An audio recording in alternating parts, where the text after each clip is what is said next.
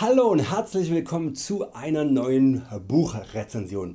Introvision aus der Essential Reihe des Springer Spektrum Verlags liegt heute auf dem Rezensionstisch.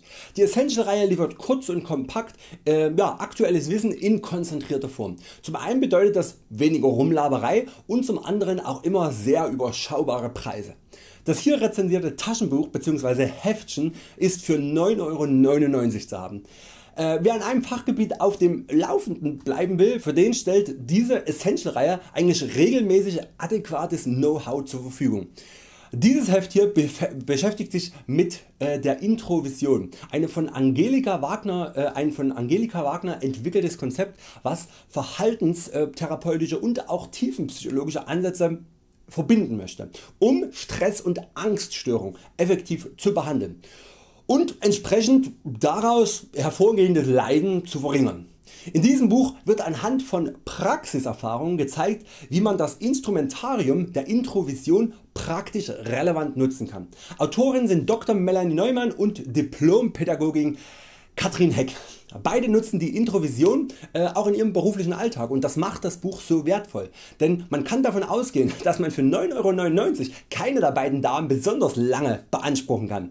Das Heftchen umfasst ca. 40 Seiten und ist in drei Teile gegliedert. In einem ersten Teil wird Introvision erst einmal erklärt. Wer hier allerdings auf eine Definition hofft und eine theoretische Abhandlung, äh, der wird erstmal enttäuscht sein. Denn ganz im Sinne des Essential Gedankens wird keine Zeit verloren und ja, direkt anhand eines skizzierten Behandlungsgesprächs eine Introvisionssitzung dargestellt, sodass sich dem Leser sofort erschließt, intuitiv was es mit der Introvision eigentlich auf sich hat. Grundsätzlich liegt der Introvision der Ansatz zugrunde, dass eine, eine fehlende Konfrontation mit Ängsten dazu führt, dass die Ängste immer schlimmer werden und ja, man versucht eben dann durch eine sogenannte Innenschau, also Introvision, die Ängste zu identifizieren und dann entweder durch eine graduierte, als, also eine stufenweise oder einer massierten Konfrontation, äh, was man auch Flooding nennt, äh, diese Ängste dann aufzulösen. Durch die Introvision wird also einfach nur ja, das notwendige Heilungspotenzial aus dem Patienten selber herausgeholt, was die Introvision einerseits äh, sehr individuell und, und, auch aufwendig macht, ne, da kommen wir vielleicht nachher noch dazu, aber andererseits auch dem Patienten äh, zur Erkenntnis verhilft, dass alles was er zur Heilung benötigt bereits da ist. Durch ein paar zusammenfassende Statements dann am Ende des Kapitels wird dann auch noch der, der universelle Einsatz der Introvision aufgezeigt.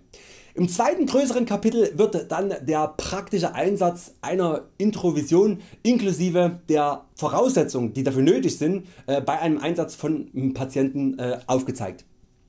Dort wird auch noch einmal herausgestellt wie wichtig es ist dass Patienten sich auch freiwillig dafür bereit erklären ihren Ängsten und auch den damit verbundenen Schmerzen zu stellen wenn diese Ängste hervorgeholt werden.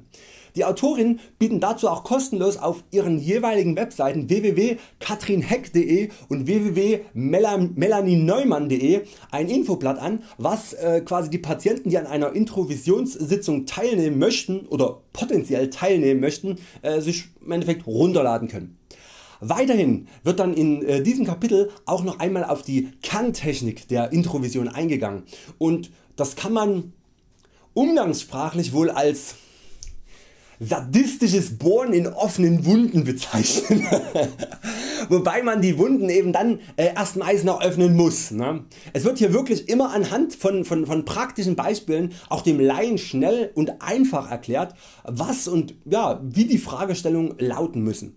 Im letzten Kapitel werden noch einmal kurz praktische Fallbeispiele für Anwendungsbeispiele genannt und ja, quasi ausgeführt. Auch wird äh, gezeigt dass Introvision zwar vorrangig als Einzeltherapie ihre Stärken ausspielt, aber auch in Gruppen durchaus als äh, ja, sogenannte Introvision Light praktikabel eingesetzt werden kann.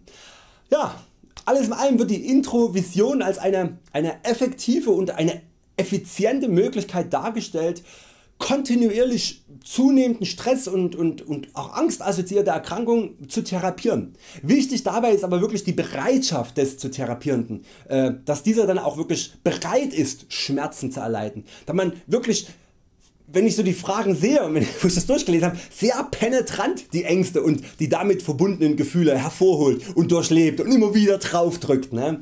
Das Buch macht wirklich durchaus radikalen Eindruck, aber so eine Mauer Theorie ähm, ja, der Introvision durch äh, Studien und Belege die den Einsatz eines entsprechenden Instrumentariums auch rechtfertigen. Auch wird immer wieder darauf hingewiesen, dass ein Flooding innerhalb der Introvision, also eine, eine massive Überflutung mit den schlimmsten Ängsten, als erfolgreicher angesehen wird als eine, eine graduierte Konfrontation.